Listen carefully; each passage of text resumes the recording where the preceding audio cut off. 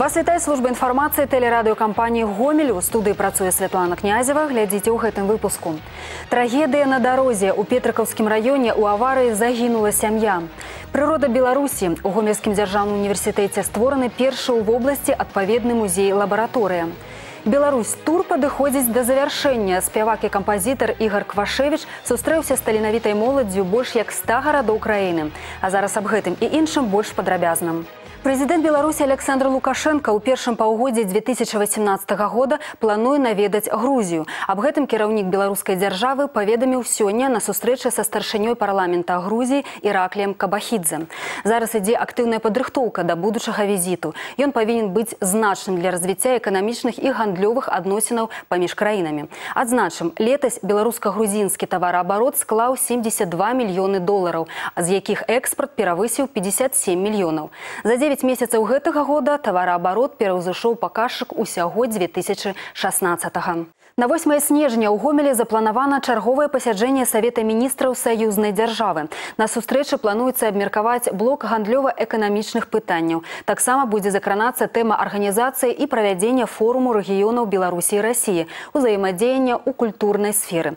Акрамя таго плануецца разгледзець заснаванне прэміі саюзнай дзяржавы ў галіне навукі і тэхнікі. Дэпутаты мясцовых саветаў павінны больш актыўна адстойваць інтарэсы выбаршчыкаў на нацыянальным узроўні. Такое меркаванне выказала кіраўнік цэнтра выбаркама Лідія Ярмошына. Паводле яе слоў плануецца аднавіць практыку відэазваротаў, каб інфармаваць грамадзян пра асноўныя падзеі і этапы выбараў. Старшыня ЦВК таксама заявіла, што прагназуе барацьбу за дэпутацкія мандаты ў некаторых гарадскіх саветах, у прыватнасці ў мінску і гарадах абласнога падпарадкавання. Нагадаем, выбары ў мясцовыя саветы дэпутатаў 20 28 склікання пройдуць 18 лютага. Інвестыцыі ў гомельскую вобласць па іх прыцягненні ў эканоміку наш рэгіён адзін з лідараў у краіне. Для вобласці гэта і паступленне валюты і новыя працоўныя месцы і унікальныя вытворчасці і імпартазамяшчэння. Скажам прама, у інвестара свой інтарэс. Значнае ўкладанне прыходзіць туды, дзе як мінімум стабільна. Інвестыцыйны клімат у цэнтры ўвагі гасцей ток-шоу галоўная тэма. Сярод іх прадстаўнікі мытні і эканамісты, адміністрацыя і рэзідэнты свабоднай эканамічнай зоны гомель-ратон. Глядзіце ток-шоу галоўная тэма сёння ў 19.20 на тэлеканале Беларусь 4. Да іншых тэм. У Петрыкаўскім раёне у ДТЗ загінула сям'я з трох чалавек. Сёння каля 9 гадзін раніцы на аўтадарозе каля вёскі Фаставічы адбылося лабавое сутыкненне легкавога аўтамабіля «Опель Вектра» і грузавога аўтамабіля «МАЗ». У выніку у легкавым аўтамабілі апынуліся заблакаванымі трое загінуўшых. Па папярэдняй версіі вадзіцель «МАЗа» выехаў на сустрэчную паласу руху. У легкавым аўто ехалі муж з жонкай і дзіця. На месцы здарэння працуе следча-аператыўная група – Абставіны і прычыны ДТЗ высвятляюцца. У гомелі вынесены апраўдальны прысуд грамадзяніну Францыі па справе аб перамяшчэнні праз мяжу патрона да агнястрэльнай зброі не задэклараванага ва ўстаноўленым парадку. Малады чалавек вызвалены з-пад варты ў зале суда. Падрабязнасці ў нашым вячэрнім выпуску. Працягваем выпуск. У гомельскім дзяржаўным універсітэце імя францыска скарыны створаны першы ў вобласці музей лабараторыя прырода Беларусі. Яго задача стварэнне умоў для атрымання студэнтамі паглыбленых ведаў, што дазволіць ім быць больш канкурэнтаздольнымі на рынку працы. Як падрыхтаваць сучаснага спецыяліста? Пытаннем пацікавіўся Олег Сенцюроў.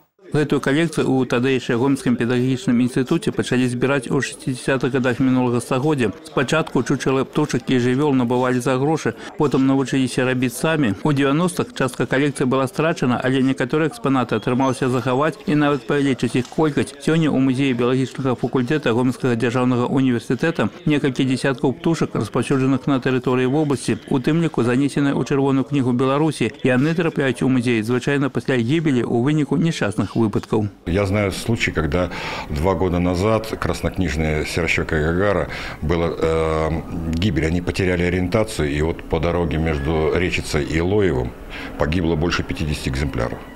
Вот два экземпляра э, нам передали. Ну, так что иногда бывает, но довольно редко, конечно. Аднаўленне музея прырода Беларусі дазваляе не толькі праводзіць прафарыентацыйную работу са школьнікамі, але і павышаць адукацыйны ўзровень будучых спецыялістаў ад заолагаў да леснікоў. Па сутнасці тут прадстаўлена ўся фаўна рэгіёна, ёсць праўда і выключэнне, але гэта ўжо экзотыка. Один из самых знакомитых и любимых наведывальниками музея экспонатов Лев Валера годов 40 тому он приехал у Гомель зоопарком и застаўся тут назаўсёды. Дарэчы, памёр Лев от старости, тогда ему было 28 годов. Для атрымання будучымі спецыялістамі больш паглыбленых ведаў на біялагічным факультэце адкрылі две лабараторыі фітадызайну і таксідэрміі. Наведваць іх можа любы студэнт. Работа гэтая патрабуе цярплівасці, але дае магчымасць навучыцца ствараць музейныя экспанаты і знаёміцца з асаблівасцямі жывёльнага свету рэгіёну. У апошні час праўда увялі некаторыя абмежаванні забаронена напрыклад вырабляць чучалы ліс якія масава хварэюць на шаленцам хоць у цэлым на галоўную задачу гэта не ўплывае стварыць першы на гомельчыне музей лабараторыю дзе можна не толькі назіраць але і атрымліваць практычныя навыкі нам важно чтобы вектор вот возможностей наших специалистов был шире возможность реализации их знаний и нахождения своих рабочих мест это должны быть не только преподаватели но они могут заниматься и в научно-исследовательских лабораториях могли заниматься ландшафтным дизайном, быть экологами, заниматься вопросами охраны окружающей среды. Олег Сентеров, Евген Макеенко, телерадиокомпания «Гомель». Музычна-адукацыйны праект Беларус тур падыходзіць да завяршэння. На выхадных у гомелі яго ініцыятар, беларускі спявак і кампазітар Ігар Квашевіч сустрэўся з таленавітай моладзю ў каледжы мастацтваў імя Сакалоўскага. Акардыяніст Ігар Квашевіч лаўрад спецыяльнага фонда прэзідэнта Беларусі.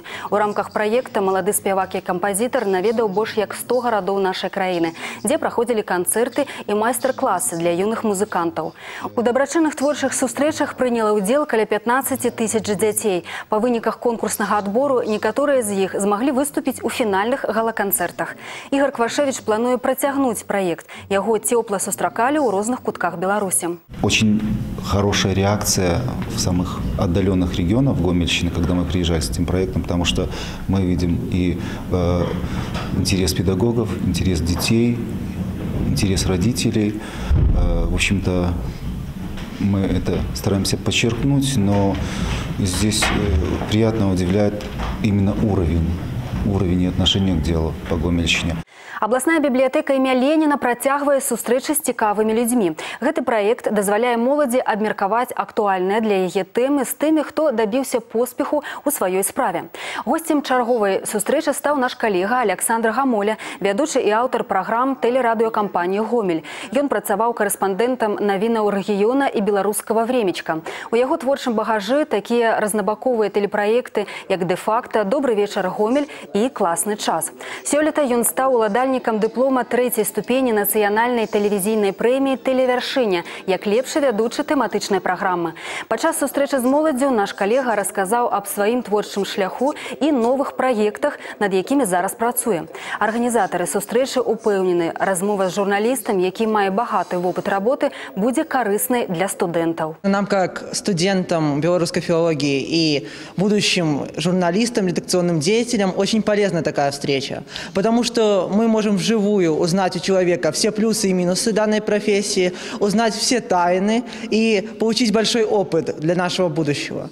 Как бы с, препод... Э, с журналистом очень важно встретиться вживую, потому что то, что ты видишь перед собой и слышишь, это не то, что ты видишь в учебнике.